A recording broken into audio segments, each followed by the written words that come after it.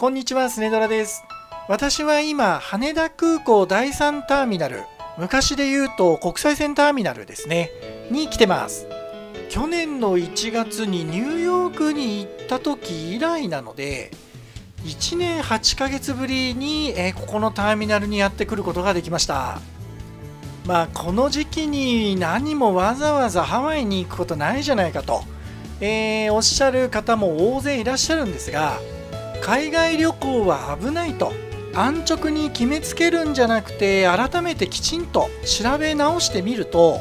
ハワイなんかは実は日本に比べてもそんなに危険な場所じゃなくてですね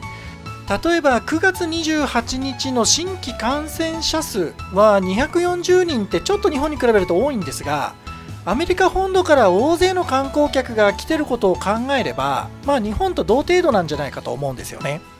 ワクチン接種率は日本よりもだいぶ進んでるし、えー後でまた説明しますけど今はハワイの街中も相当厳しいルールができてるので少なくとも日本より危険な場所に行くのではないということは理解していただけるんじゃないかと思います。まあそうは言ってもハワイに行って日本に戻ってきた時にコロナも持ち帰ってきましたではちょっとシャレにならないんでですね。そのあたりの対策がどう取られてるのか共有したくて今回は動画を作成してます。それではまず渡航に必要なものを説明します。パスポートとエスターはまあ当たり前として実は PCR 検査の陰性証明があればハワイに行くことができるんですよね。ただし実際向こうに行った後ワクチン接種証明書がないとほとんど何にもできないので事実上、えーワクチン接種証明書も必要だということになってます。PCR 検査はハワイ州指定の医療機関で日本を出発する72時間以内に検査を行ったものが必要になります。私は今回、えー金額だとか発行のスピードとかをいろいろ考慮して五反田にある体内科クリニックさんにお願いしました。五反田駅西口から徒歩で12分のところにあってとっても便利なクリニックでした。到着したらまず同意書を記入して、えー万が一陽性の場合は電話が来るみたいですね、えーちなみに金額は3万800円。少しお高いですがハワイ州指定のフォーマットが必要なのでこれは仕方がありません。この PCR 検査があのインフルの検査の時みたいに鼻の奥に突っ込まれるタイプでね結構痛いんですよね。苦しかったんですけどまあ我慢します。検査が陰性なら翌日陰性証明が発行されます、えー当日発行もできるようなんですがその場合は割増料金がかかるみたいですね。最後はワクチン接種証明書です。これはお住まいの市区町村に行ってえ海外旅行の予定があると言えば発行してもらえます。発行までに少し時間がかかるので早めに手続きした方がいいと思います。あらかじめ手配しないといけないものは以上です。続いて、え出発までに入力したり記入したりしないといけないものをご紹介します。まずはセーフトラベルズプログラムの入力です。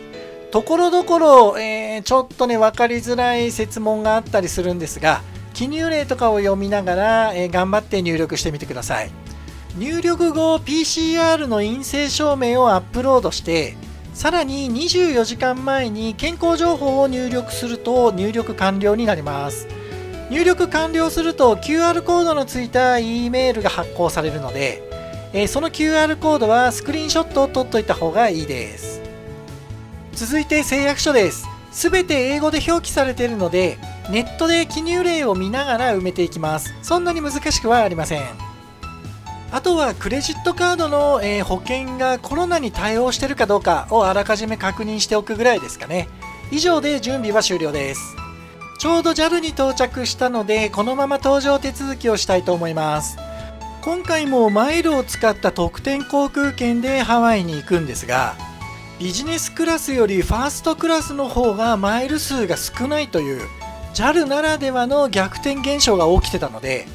今回は往復ファーストクラスで手配してます。ちなみに今回は片道5万マイルだったので2人で往復で合計20万マイルでした。ファーストクラスに乗れるなんてね夢みたいです。航空会社のカウンターでハワイに入国するために必要なコロナ関連の、え資料をチェックしてくれます。これをプリクリアランスっていうらしいんですが、えここで、え JAL の人にあらかじめチェックしてもらうことによって、えホノルル空港に着いた後スムースに入国できるような仕組みになってるようです。私のように英語が苦手な人間にとっては日本で資料のチェックしてくれてハンコをしてもらうのはね本当に助かるんですよね。あらかじめスクショを取っておいた QR コードをここで見せます。手続きに問題がなければ QR コードが更新されるのでその QR をまたスクショを取ってホノルルに持っていきます。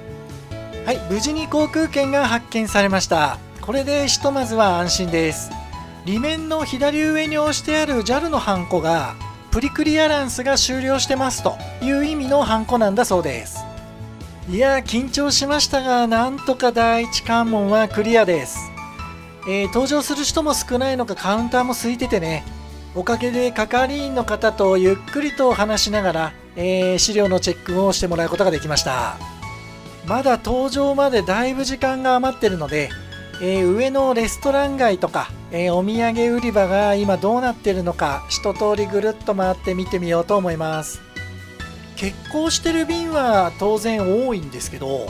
それでも北米路線とか結構飛んでる飛行機もあってですねスーツケースを持ってたり明らかにこれから出国すると思われるような人も思ったよりいるんですよね。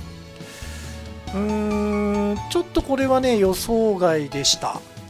お店はだいぶ閉まってますがそれでもあの利用者のためにあの何軒かずつは開けてるようで、えー、食事もできるし買い物も一応できます。そういえばさっき話が途中になっちゃったんですけどハワイが思ったよりも安全だと思った根拠の一つにですね9月13日から始まってるセーフアクセスオアフプログラムっていうのがあるんですよ。これはレストランとか水族館とか動物園とかね要は屋内施設がある主な建物全てにおいてえワクチン接種証明書か48時間以内の PCR 検査の陰性証明それと身分証明の提示が必要になったんですよね。ってことはワクチンを打ったか1日2日のうちに PCR を検査した人しかお店の中に入れないっていうことなんですよ。屋内でのマスク着用はもちろん義務化で今でも罰金付きだしなのでみんなね、本当にきちんとマスクしてました。日本に比べて明らかに厳しいこのルールがきちんと運用できてるようなので、これなら行っても大丈夫だと思って今回、えー、結婚したんですよね。そうは言っても日本に帰ってきた時にコロナ持ち込んじゃったらシャレにならないんでね、まあ、そこの心配もあったんですがあらかじめワクチン接種を2度受けてえー、2週間の間に PCR 検査を3回行ってかつ14日間の自宅隔離もするわけですから、まあ、リスクは当然相当低いと考えてます。政府も海外渡航制限を10月以降順次緩和する方向で調整しているようなので今後のハワイ旅行の参考になれば幸いです。